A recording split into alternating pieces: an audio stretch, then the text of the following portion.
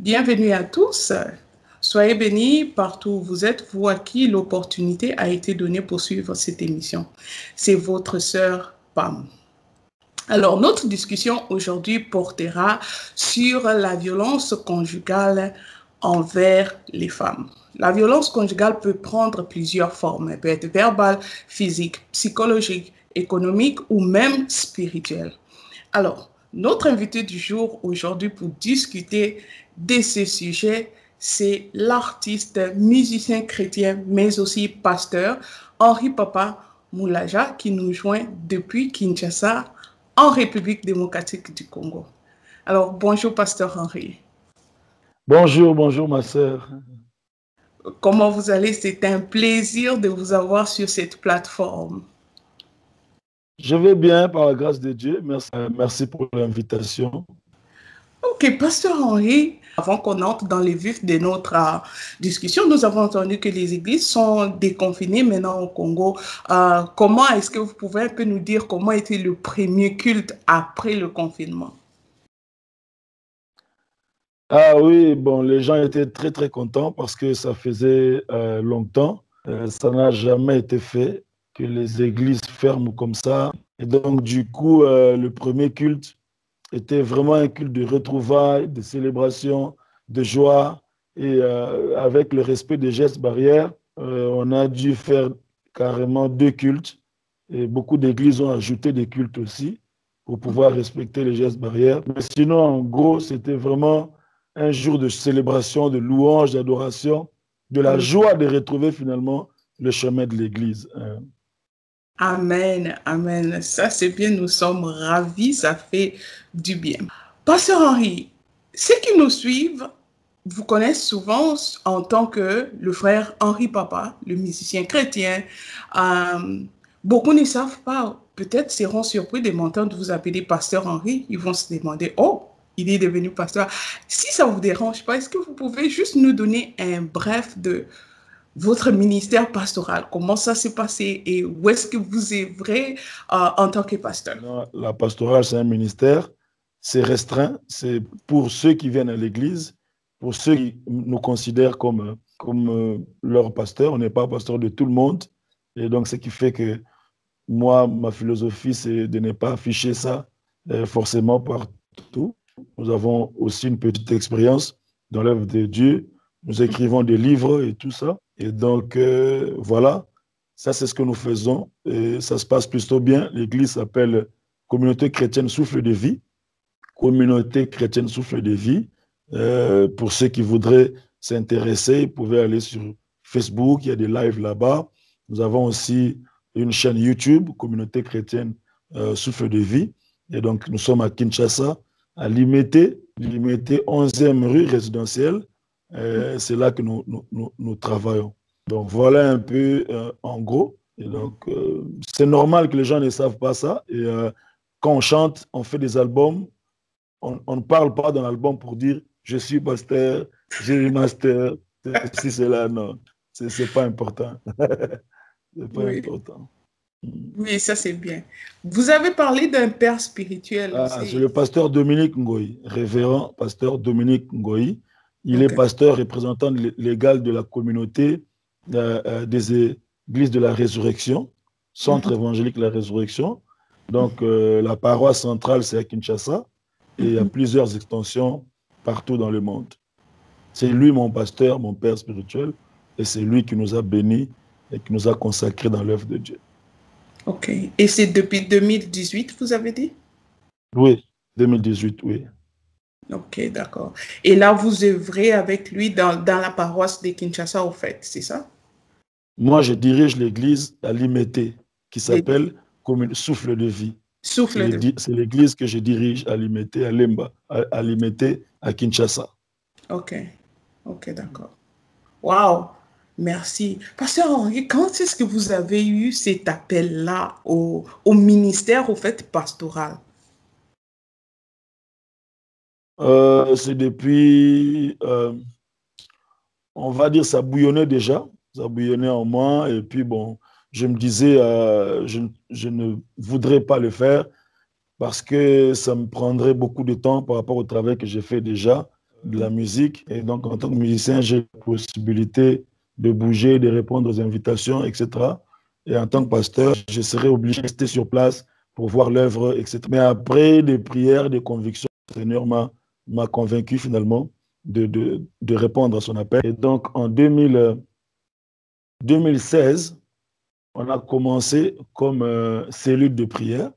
Donc, nous avons fait deux ans comme cellule de prière. Et c'est en 2018 qu'on a maintenant été consacré et on a, on a inauguré comme église. Amen, amen. Wow. Vous avez répondu à l'appel. Ça, c'est vraiment très important parce qu'il y en a plusieurs qui fuient loin de l'appel. Alors, euh, Pasteur Henri, moi, je vais vous demander, est-ce que vous pouvez chanter un tout petit peu, juste pour rendre grâce à Dieu pour cet appel-là que vous avez répondu. malasi na ngai yango malasi malasi e e malasi na ngai yango oyo loyembo e loyembo na ngai yango oyo motema e motema na yango oyo tu répands ta gloire dans les cieux et sur la terre. Oh, nous lèvons nos mains pour t'adorer, prince de paix. Ah, au milieu de nous, Jésus-Christ, c'est toi qui règne, qui règne, qui règne, qui règne. Tu règnes, Malassier. Voilà. Amen, amen, amen. Que Dieu soit loué. Alors, euh, revenons sur notre sujet d'aujourd'hui, euh, Pasteur Henri, la violence conjugale envers euh, les femmes. D'après vous, Pasteur, qui pensez-vous peut être la source de la violence conjugale au fait envers les femmes? Parce qu'elle déchire les, les, ménages, elle déchire vraiment des familles entières. Donc, euh, je, trouve que c'est un sujet que nous devons vraiment, en tant qu'Église, en tant qu'enfant de Dieu, euh, discuter, parce que c'est un sujet qui détruit les familles. Hmm. Oui, il y a plusieurs sources, plusieurs causes, plusieurs raisons qui poussent à ça. Et comme on est chrétien, donc la première raison, c'est l'absence du règne de Christ euh, dans le foyer. Donc, quand le Seigneur Jésus n'est pas le maître, s'il ne règne pas, si ce n'est pas lui que vous adorez, vous servez en famille, dans la maison, eh bien, euh, la violence peut être là parce que là où Christ règne, il y a la paix, il y a le partage, il y a la compréhension. Et donc, je pense que parmi les signes du règne de Christ dans une famille, il y a aussi le dialogue, la paix, la communication, la compréhension. Après, une autre source, euh, c'est aussi le complexe, le complexe euh, de supériorité, malheureusement, qui se traduit par la violence, parce que l'homme pense que pour s'imposer, il doit être violent, pour, euh, pour dicter sa loi, il doit, il doit absolument aller par la force. Or, la force ne résout pas toujours tout. une autre raison, ça peut être aussi une mauvaise éducation à la base des deux, des deux conjoints aussi, des deux partenaires, parce que ce n'est pas seulement l'homme, mais il y a aussi la femme peut-être qui n'a pas des principes de soumission, de respect, de considération, euh, de, de, partage. Et il y en a aussi qui provoquent leurs époux, vous voyez. Donc l'éducation de base, c'est quelque chose de très important qu'on ne doit pas négliger quelqu'un qui a été éduqué dès sa maison à respecter l'autre, à ne pas violenter. S'il a été éduqué comme ça, je crois que à l'âge adulte, c'est possible qu'il ne puisse pas manifester euh, de telles violences. Bon, voilà, une autre chose aussi, c'est manque d'activité euh, en commun. Si vous ne travaillez pas ensemble, et donc du coup, l'autre ne comprend pas les mouvements de l'autre, c'est pourquoi on conseille toujours euh, aux conjoints de trouver une activité qu'on fait ensemble, un intérêt commun, où vous partagez des idées. Vous voyez, ça fait en sorte que vous puissiez être ensemble. Donc, il y a beaucoup de raisons comme ça. Après, il y a aussi des raisons spirituelles, comme vous l'avez évoqué. Il y a aussi les attaques du diable. Et dans la culture africaine, spécialement au Congo, on a tendance à voir que la, la violence envers les femmes est acceptable et moins découragée que peut-être ailleurs. Qu'en pensez-vous? Oui, bon, malheureusement, hein, en Afrique, euh, Afrique euh, l'homme a le premier mot, il a le dernier mot. Il peut s'imposer, il peut, il peut battre, il peut faire ceci. Malheureusement, nos cultures ne, voilà, sont aussi à la base de ces, de ces violences-là, malheureusement. Et déjà, du point de vue culturel, la femme ne sait pas euh, reprocher, n'est-ce pas, son mari. Il n'a pas un mot à dire sur le comportement de l'autre. Elle ne sait pas réagir au tempérament de l'autre. Donc, euh, si, le mari est violent, il est violent. On ne peut pas lui donner des conseils. S'il il est agressif, il est agressif. On doit l'accepter comme ça. Et pourtant, lorsqu'on se met ensemble, je crois qu'on se met ensemble pas pour se détruire, mais pour se construire. Merci beaucoup pour la réponse. Mais aussi, il y a quelque chose que vous avez mentionné au début. Vous avez dit la présence du Christ. Lorsque Christ n'est pas dans un foyer, ça se manifeste aussi par la violence. Mais de plus en plus, nous voyons que même les familles chrétiennes, des familles chrétiennes, des couples chrétiens, il y a aussi la manifestation de la violence dans ces couples-là. Comment est-ce qu'on peut expliquer ça? Oui, c'est vrai que oui, Christ règne dans nos cœurs, mais il y a des choses qui sont dans notre responsabilité, en fait. Vous voyez? Donc, ce n'est pas parce que tu es chrétien que Dieu va tout faire pour toi. Non. Il y a, il y a des éléments de notre responsabilité. Et si tu es chrétien, c'est vrai, Christ règne dans ta vie, mais c'est à toi de nettoyer ta propre maison c'est à toi d'éduquer tes enfants. Vous voyez? Et donc, euh, malheureusement, il y a même dans les familles chrétiennes, mais qui, ne privilégient pas la communauté. Ils sont chrétiens, mais ils restent euh, euh, esclaves de leur culture. Hmm. Ils disent, nous les Africains, nous les Bakongo, chez nous les Baluba, chez nous les Baswahili, chez nous les ceci, cela.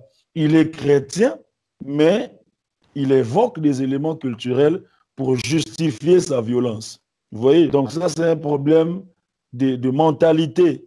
Et la mentalité, c'est la responsabilité de chacun de pouvoir transformer cela. C'est ce que l'apôtre Paul appelle des forteresses, des, des, des, des, pensées, des systèmes de pensée, des paradigmes qui doivent absolument tomber. Pourquoi? Parce que être chrétien, c'est vrai, nous sommes nés de nouveau, etc. Mais du point de vue caractère, comportement, langage, c'est une responsabilité personnelle. C'est à chacun d'évoluer dans ce sens-là et, d'éduquer les enfants, de leur inculquer des valeurs, les valeurs de respect, les valeurs de partage, les valeurs de communication. Toutes ces choses-là, ce n'est pas seulement parce que tu es chrétien que ça tombera du ciel. Non. C'est un travail à faire, c'est un sacrifice, c'est un prix à payer. Et c'est pourquoi on, remarque de telles, de telles choses, même parmi les chrétiens. Mais aussi, au-delà de ça, comme j'avais dit, il y a aussi des attaques du diable. Il y a l'envoûtement, il y a la sorcellerie. Il y a des hommes, après avoir été violents, c'est comme s'ils reviennent en eux-mêmes et ils se disent ah, Est-ce que c'est moi qui ai fait ça? Je ne me souviens pas. Je ne peux pas faire ça. Vous voyez Donc, il a été envoûté il a été euh, utilisé pour poser un acte en dehors de sa propre conscience. Et puis quand la conscience revient, il se rend compte qu'il a posé un acte. C'est pourquoi il faut aussi privilégier la prière. Beaucoup de moments de prière peuvent aussi aider, n'est-ce pas, à, à, lutter contre ce genre de violences. Amen. Amen. Merci beaucoup, Pasteur Henri. Um, dans un contexte public, vous avez mentionné, vous venez, euh, vous venez de mentionner l'éducation que je trouve très, très important. Mais dans un contexte biblique de l'Église, comment l'Église peut-elle décourager la violence envers les femmes?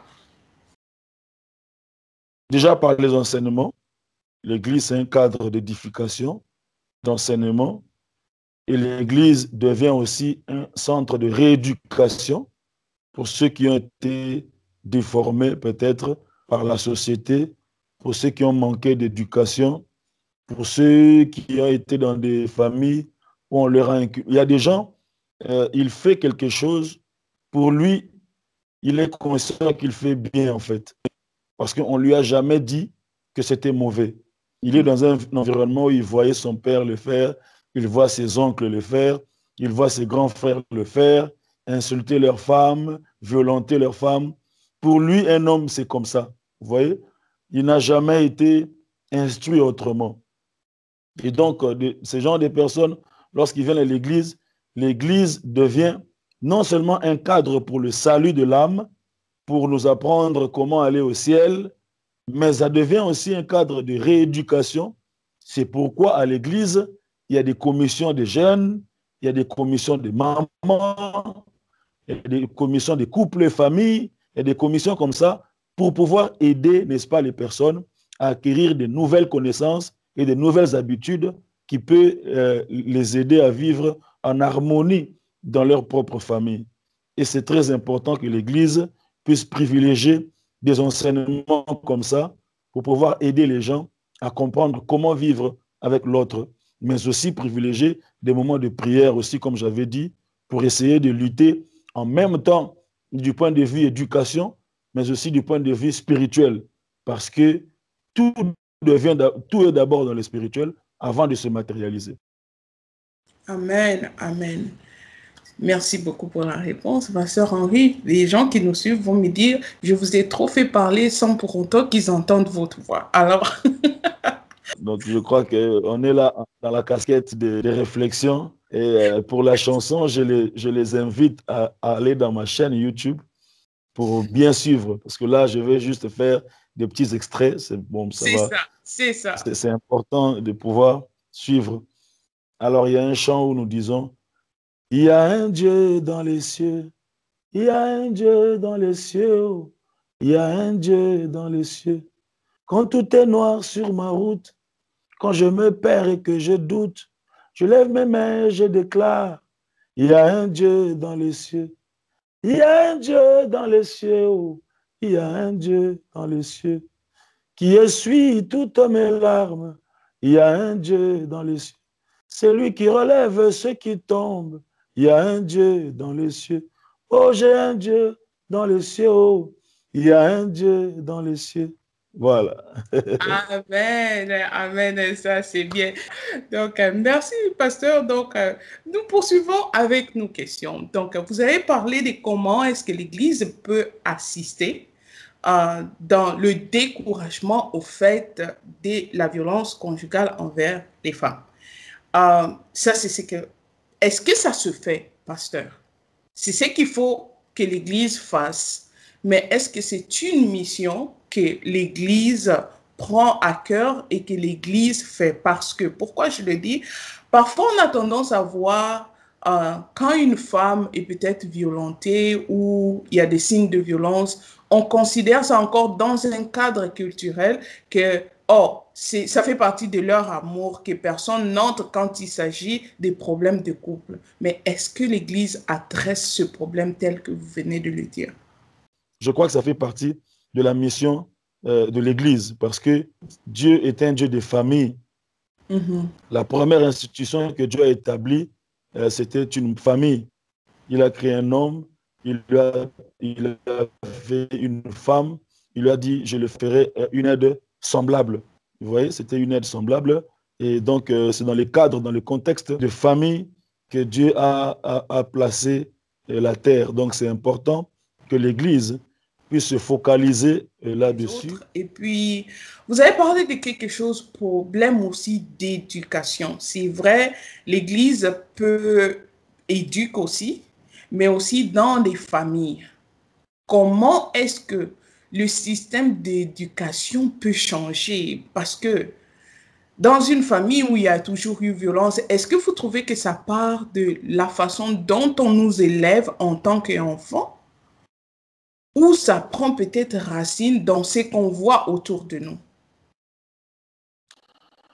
Oui, euh, il y a plusieurs éléments dans l'éducation de la famille. Il y a l'élément exemplarité, c'est-à-dire il ne faut pas seulement euh, dire aux enfants ce qu'ils doivent faire, ce qu'ils ne doivent pas faire, mais il faut aussi le mettre en pratique soi-même en tant que parent. Mhm. Je crois que éduquer par l'exemple, c'est d'ailleurs mieux que parler seulement.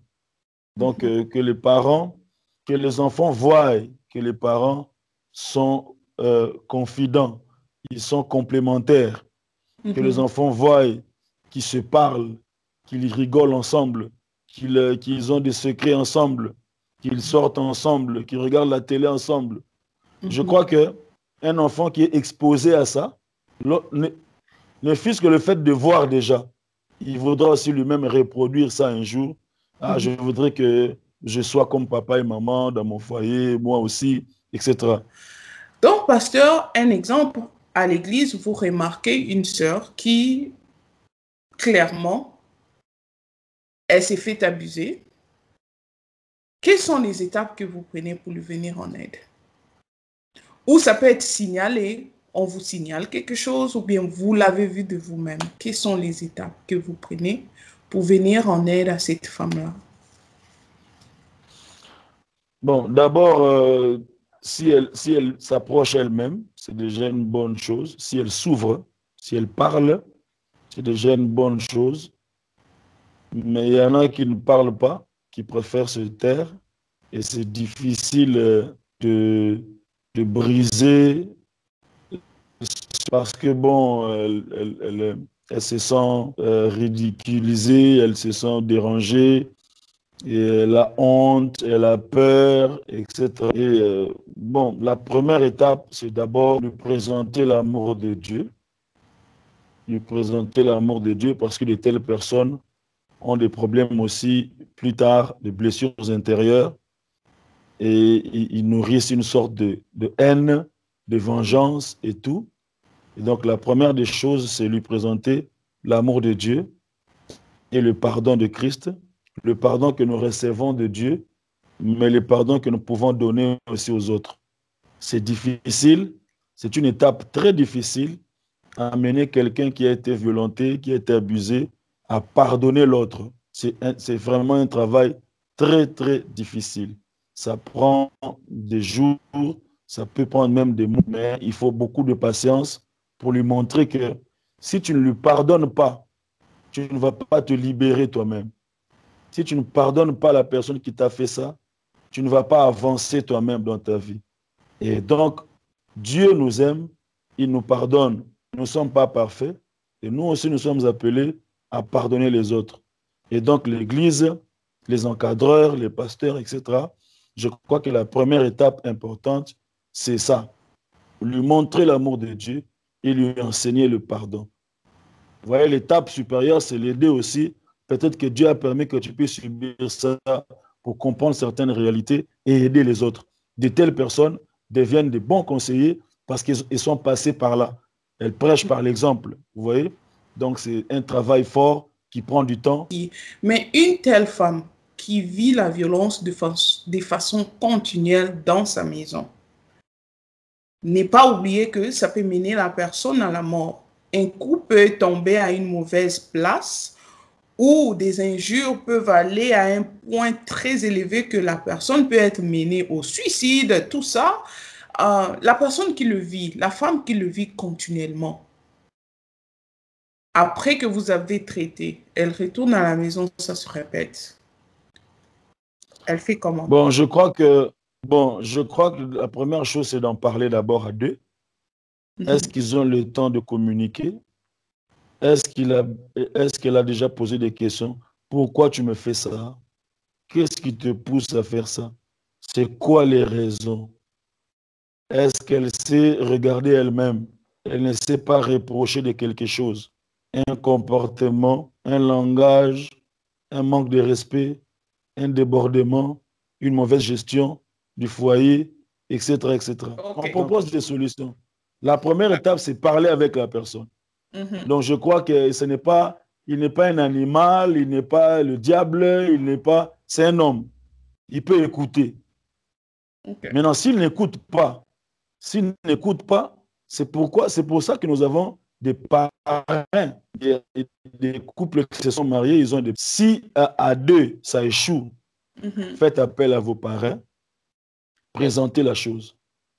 Si ça échoue, faites appel à votre pasteur, présentez-lui la chose. Peut-être que le conseil du pasteur sera plus efficace ou bien le conseil du parrain sera plus efficace. Si ça continue, faites asseoir les familles. Appelle la famille, le responsable, même s'ils sont loin. Aujourd'hui, on a la technologie, il y des appels vidéo, etc. Appelez la famille, les responsables, les parents. Peut-être qu'il a, un grand frère qui l'écoute. Peut-être qu'il a une grande sœur qui peut le gronder. Peut-être que sa maman, elle écoute mieux. Peut-être que son père, etc. Faites asseoir la famille, expliquez, parlez de ça, présentez la chose. Alors, si spirituellement, euh, du point de vue spirituel, familial, ça ne marche pas, c'est pourquoi dans les pays, il y a des lois. Les lois sont, ont, aussi été faites pour nous sécuriser. Les lois ont été faites aussi pour euh, empêcher que le pire n'arrive. Mm-hmm. Vous voyez? Donc, euh, d'abord, c'est le dialogue, la compréhension, la prière, les pasteurs, les parrains, la famille. Si ça ne marche toujours pas, alors on va, on va faire appel à la loi. Parce que sinon, tu seras victime. C'est ta vie qui est en danger. Ça peut prendre une année, deux ans, toutes ces étapes-là. Mais si vous sentez que vraiment, c'est vraiment au top, tu risques de mourir, il vous a, il vous a fait gonfler l'œil, il vous a cassé les bras, etc. Mais ben, je crois qu'il faut faire appel à la loi et euh, voilà, ce sont des, normes établies dans la société pour faire régner l'ordre. Ok. Merci, pasteur. Comme vous avez dit tantôt, quand le degré est un peu élevé, parce que le but ici, c'est apporter solution pour quelqu'un qui est en train de souffrir quelque part. Quand l'étape un peu, le, le degré de coup, bon, là, c'est la violence plus physique. Si on parle de la violence physique, quand les coûts sont peut-être trop élevés ou au niveau où aller au travers de toutes ces étapes-là pourrait te mettre en danger. Vous avez dit de contacter la loi. Mais comment la femme elle-même contacte la loi en étant dans la maison avec le, le mari? Comment positionnement physique? Où est-ce qu'elle peut se trouver pour faire toutes ces démarches-là lorsqu'elle est en danger?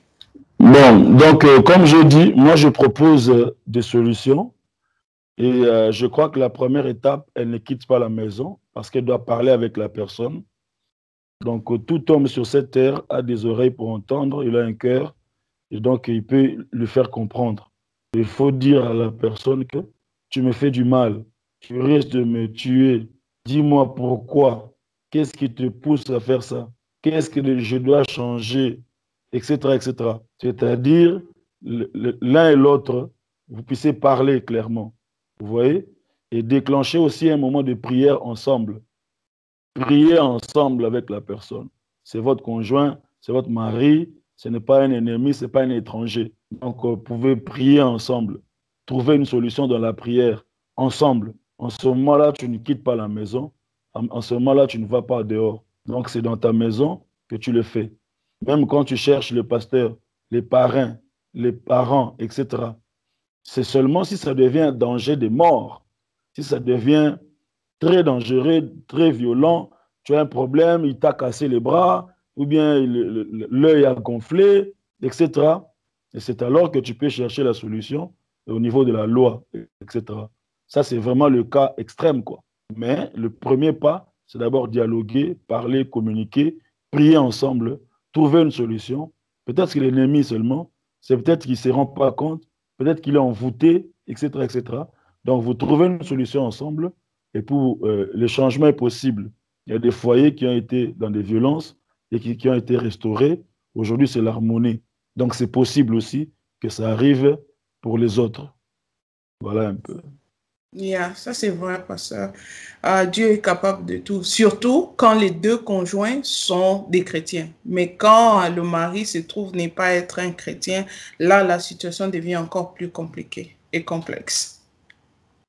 Ouais, c'est pourquoi euh, à la base on demande aux jeunes que la foi chrétienne soit les critères de ton choix.